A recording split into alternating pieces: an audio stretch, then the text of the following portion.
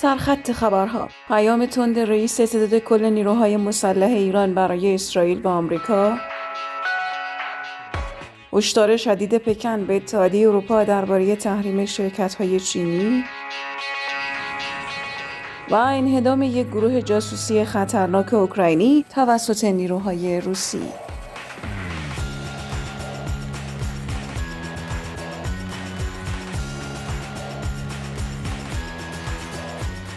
به این بسته خبری از پیک خوش اومدید. در خبری حساس رئیس تعداد کل نیروهای مسلح اعلام کرد که نیروهای مسلح ایران با تمام توان آماده حمایت از فلسطین در برابر رژیم صهیونیستی است و در ادامه افزود که اسرائیل و آمریکا در مسیر افول قرار گرفته و اگر اروپا و سایر همپیمانان آمریکا خود را از زنجیرهای حمایت کورکورانه آمریکا رها نکنند همراه با آن به قهقرا خواهند رفت. به گزارش فارس لشکر محمد باقری رئیس اتحاد کل نیروهای مسلح صبح امروز چهارشنبه 20 اردیبهشت ماه در همایش هندسه نظم جدید جهانی که در دانشگاه عالی دفاع ملی برگزار شد گفت از یک سال قبل که رهبر معظم انقلاب اسلامی در جمع دانشگاهیان ضرورت بررسی تغییرات جهانی و نظم آینده و تعیین جایگاه کشور در این نظم محتمل را تبیین کردند این دانشگاه مقدمات برگزاری این همایش را پیگیری کرد. رئیس ستاد کل نیروهای مسلح تصریح کرد. اسرائیل قاسب فلسطین از صدای در اختیار گرفتن نیل تا فرات و تجربه پیروزی در جنگ با عرب و در اختیار داشتن قدرت نظامی در سراشیبی و فول قرار گرفته و از شکست در جنگ 33 روزه در عرصه های گوناگون دچار مشکلات اساسی شده است. اما در مقابل ملت مظلوم فلسطین و محور مقاومت در اوج قدرت و هماهنگی و حرکت رو به رشد در مسیر آزادی فلسطین است.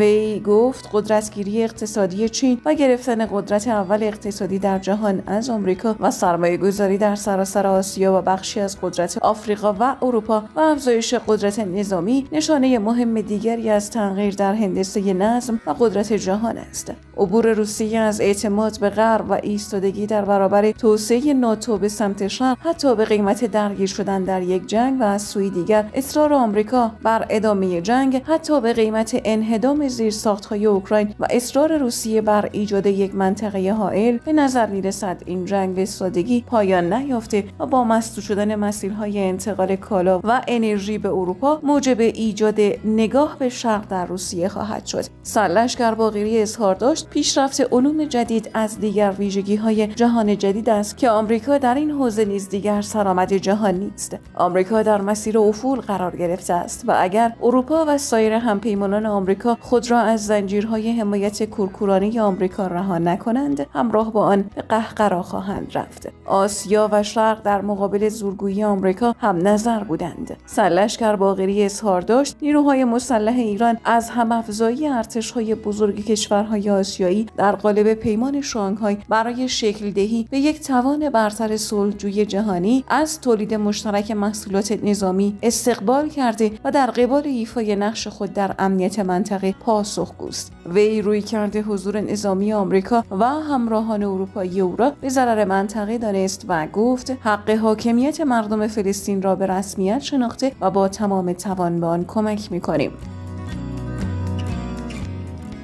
وزیر خارجه چین شب گذشته به اظهارات آنل نابا ایربوک وزیر خارجه آلمان درباره حمایت ادعای پکن از مسکو در جنگ علیه اوکراین واکنش نشان داد. کینگانگ هشدار داد که هر گونه تحریم شرکت های چینی به بهانه نقش ادعایی آنها در کمک تسلیحاتی به روسیه با پاسخ شدید پکن مواجه خواهد شد. با ایربوک روز گذشته در یک نشست خبری مشترک با همتای چینی خود گفته بود چین باید مطمئن شود که شرکت های این کشور هیچ سلاح یا کالای دو منظوره که می تواند در ساخت سلاح مورد استفاده قرار بگیرد به روسیه تحویل ندهند. وزیر خارجه آلمان که کشورش کمک های تسلیحاتی زیادی به اوکراین ارسال کرده همچنین گفت بیطرفی به معنای جانبداری از متجاوز است و به همین دلیل اصل راهنمای ما این است که روشن کنیم در کنار قربانی هستیم. وزیر خارجه چین در همین نشست خبری به خبرنگاران گفت درباره کالاهای دو منظوره ما طبق قوانین و ضوابط عمل عمل می‌کنیم. نهادهای چین و روسیه مراودات و روابط تجاری عادی دارند که تحت تاثیر هیچ چیزی نباید قرار بگیرد. وی در ادامه تاکید کرد ما قاطعانه با برخی از کشورهای خاص که از قوانین خود برای اعمال صلاحیت غذایی و تحریم‌های یکجانبه علیه سایر کشورها از جمله چین استفاده می‌کنند مخالفیم.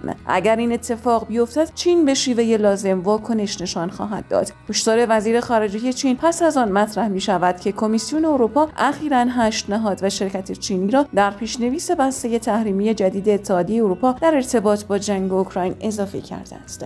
اتحادیه اروپا مدعی است که این شرکت ها شش مورد از آنها در هنگ کنگ مستقر هستند. تحریم کالاهای دوجانبه از جمله تحریم مربوط به ریز ها علیه روسیه را نقض کردند. پیشتر سخنگوی وزارت خارجه چین نیز در واکنش به اتهام زنی ها درباره کمک این کشور به روسیه در جنگ اوکراین به اتحادیه اروپا هشدار داده بود. اگر تحریم هایی علیه شرکت های چینی به این بهانه اعمال شود چین برای حفاظت از منافعش اقدام قاطع انجام خواهد داد. اتهامات اروپا به پکن در حالی است که این کشور اخیرا طرح دوازده ماده برای حل و فصل بحران اوکراین ارائه کرده است. کشورهای غربی به بهانه های مختلف این طرح را رد کردند.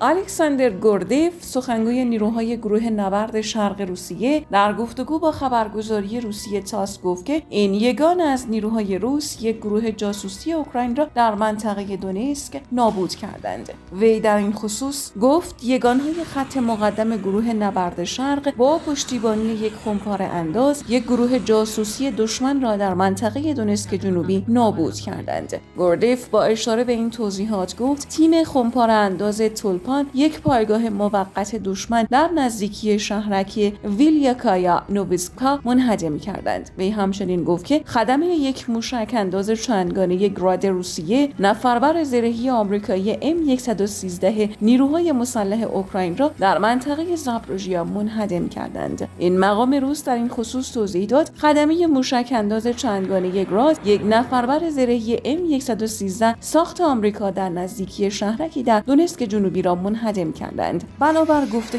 گردی واحد تانک روسیه نیز یکی از پناهگاه های ارتش اوکراین در نزدیکی شهرک نووسیولکا را نیز با خاک یکسان کردند. این خبر در حالی منتشر شده است که پیش از این منابع روس از حمله پهپادی اوکراین به یک تأسیسات نظامی این کشور در شهر وورونش خبر داده بودند.